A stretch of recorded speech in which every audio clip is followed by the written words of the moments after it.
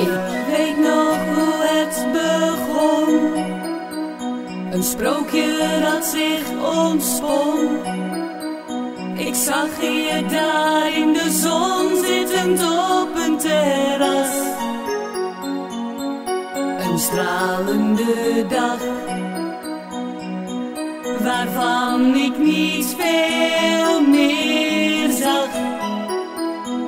Alleen jouw ogen waarin ik las. We zagen alleen elkaar. De liefde is toch zo waar. Twee mensen al samen één zitten diep in de nacht.